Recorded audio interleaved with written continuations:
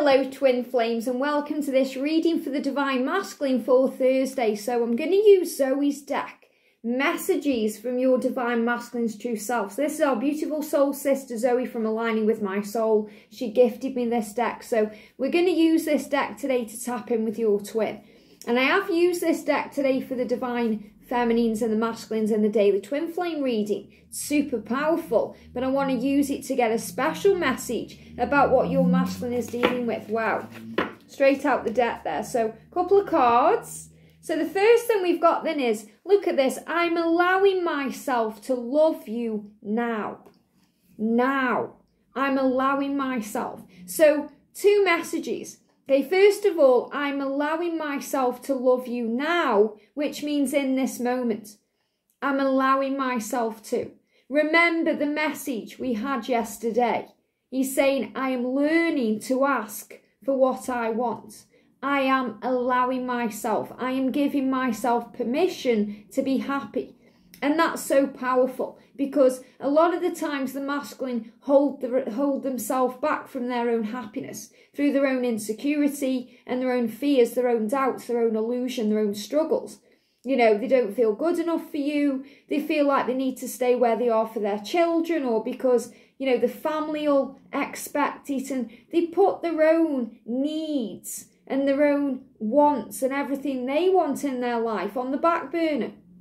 It may seem different to you. You may think they're happy, they're just plodding along, but they are holding themselves and sacrificing what they truly want, and that's you a life with you happiness, joy, passion, adventure, and excitement. So he's finally allowing himself in this moment now to love you. I'm allowing myself to love you. And he's also saying, I'm allowing myself to love you now. That means he's allowing himself in this moment. He's allowing himself to feel these things. And when we do things in the now, we have won. Okay, look at now backwards, it spells one. You know, when I'm looking at this in the camera, it says one because it's showing me the mirrored image. So you mirror images of each other. And when the masculines come back into the now, when they process in the moment, when they're not allowing the ego or the pride or you know the fear to take control of the past they can't change or the future that hasn't yet occurred that fear of the unknown they feel like they've won because they feel safe. So he's saying to you i'm allowing myself to love you now. And when they do that they allow themselves to feel what this love is.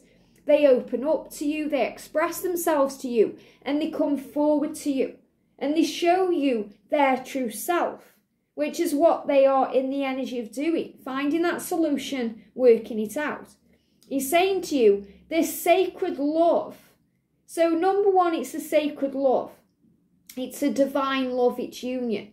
It's everything they want. So, they may not understand the word twin flame. You know, the label, they may not understand that, but they certainly know it's a sacred love. It's a sacred bond. It's something magical that you share soul to soul, heart to heart, body to body. And he's saying to you, this sacred love making energy is driving me bonkers. So, this passion he has for you, this desire, all this sexual chemistry and all this emotion and feeling, it's driving him up the wall. It's driving him bonkers, nuts, crazy. He's, he's struggling to hold it all in. And that's the energy of this day. The energy of this day is that, you know, you have all these things going on within, it's ready to explode. So you're going to be feeling all this heat. So if you're a divine masculine tapping in and you're feeling angry, frustrated, you're getting turned on, you don't know why, it's happening at the strangest times, it's because you're feeling all this passion and heat and connection with your divine feminine. Divine feminines, if you're feeling all this heat, the Kundalini is rising, but you're feeling all this passion, it's because of the desire coming from within, from both of you. It's a primal thing, this primal need to reconnect. It's the universe's way of showing you that you are coming back together. It's this craving for each other. It's like the moth being guided to a flame. You know, the flame is hot. If you touch the, the flame, it can burn you. But they're going for it. So this is also an energy of action and fire and movement and desire and passion. And I feel this is all flowing in between now and March with that Aries energy coming in, ramming forward, you know, going forward, rushing ahead, making things occur. So this energy is off the charts. You know, it's powerful, it's sacred, it's magical. And I love how Zoe's worded it this sacred love making. You know, not using the word sex or, you know, being in that, you know, that kind of energy. It's more sacred, it's beautiful. The way you share time together intimately is beautiful, whether that's on the 5D realm where it's very cosmic, very passionate, very intense, or in the real world where you feel it all physically too. And you've got that physical touch and sensation.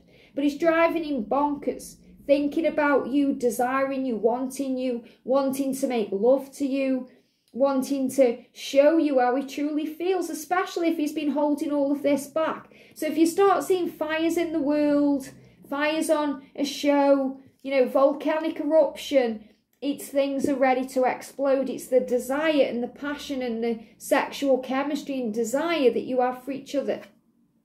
I love my life when you were in it. So he's saying, when you're in my life, I love my life. That's why sometimes you think that they're just plodding along when you're in communication because you make his life a bit better. You know, when you're in separation, he has that need to sort it out. That's why the silence is where the magic takes place. You know, when it's silent, he's doing work. You may not think it, you may feel he's forgotten you or moved on, but he has been prompted to make change. Sometimes separation has to come in to make that change. You know, especially if they're with a karmic partner and you know they're spending time with you, they're spending time with them, they're in and out, back and forth, you're getting breadcrumbs, you don't know what's going on. Sometimes separation is needed to prompt them to make that decision because when you are in their life, whether that's in communication with them or in their life, their life works better. You know, they have more happiness, more joy you know, because you were their lighthouse. But without you, they feel numb, lost, alone, cut, depressed, anxious. They go through those things. So, you know, it's a natural thing to go into separation on this journey because it brings about all the change. And I'm not saying you're going to go into separation at all. I'm helping you to understand why it occurs. And if you want to know more about separation, I've done the Separation Heal series in the playlist, which is from the Divine Feminine's perspective. I've done a series about the Divine Feminine and the silence.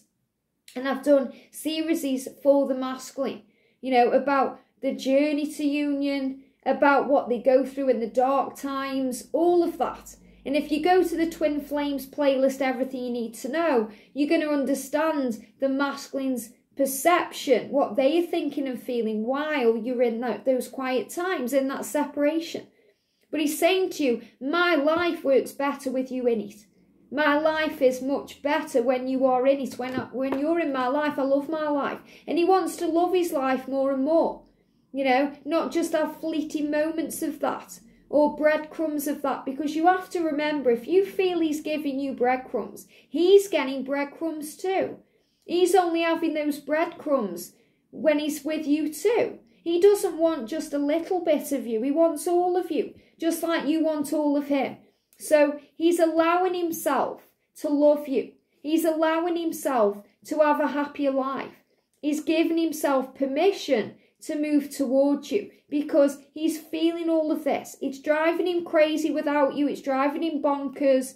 This need for you, this desire, it's making him ratty and anxious and, you know, not very nice to be around in his physical reality because he's mad all the time. He's feeling all this heat. You know, he may be arguing with people in his life, being irritable, shouting at them, you know, over the littlest things. So, you know, it really is kind of like a mid masculine crisis because he knows he has to change his life not only to be happy and to feel satisfied, but to feel healthy and less hungry. It's like he's hungry all the time. Thank you. The angel's saying he's hungry all the time.